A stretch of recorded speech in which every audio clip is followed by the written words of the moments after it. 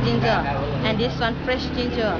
For fresh ginger thai stir fry. We use this one for stir fry for um, ginger tea. And somebody thailand they eat it the fresh ginger.